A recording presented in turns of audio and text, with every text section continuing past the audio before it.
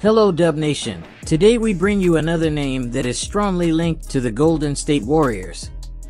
So we at Gold Blooded News went in depth. Hold on tight because we're about to reveal everything you need to know.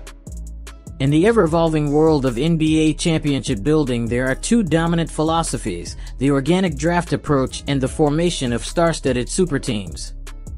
But which path to glory is truly superior? It's a debate that has raged for years and has devoted fans. Your opinion matters. On the one hand, there is the allure of putting together a super team loaded with talent. After all, in the NBA, talent often reigns supreme. But let's not forget the power of chemistry and the organic development of a team exemplified by none other than the Golden State Warriors, the true epitome of an NBA dynasty. His remarkable journey was built primarily through the draft, with a brief exception during the Kevin Durant era.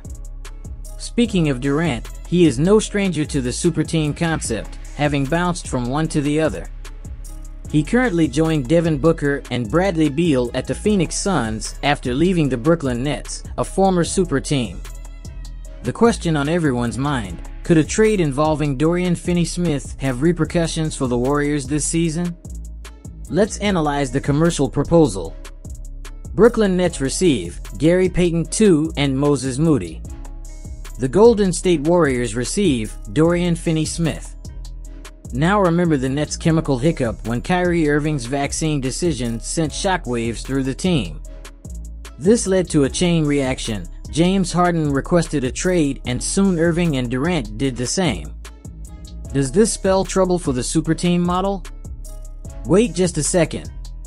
Look at Kevin Garnett's Boston Celtics, LeBron James's Miami Heat, or Durant's Warriors. They all managed to win an NBA championship under this model. It's all about fitting the pieces into place, just like every other roster in the league. But wait, there's more. The fall of a super team is not the end of the world. Take a look at the Nets. It's true, Durant, Harden, and Irving have moved on, but they now have a deep roster full of blue chip players and a treasure trove of draft picks. So should they really trade Finney Smith to the Warriors? Dub Nation, what do you think, Warriors? Could Dorian Finney-Smith be what we need?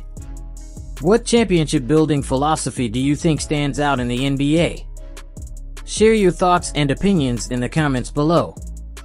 We want to know what Dub Nation thinks about this exciting possibility. Don't forget to like and subscribe to the channel so you don't miss any updates. Turn on notifications to stay up to date with the latest news here at Gold Blooded News. Thank you for following us, and see you next time. Go Dubs!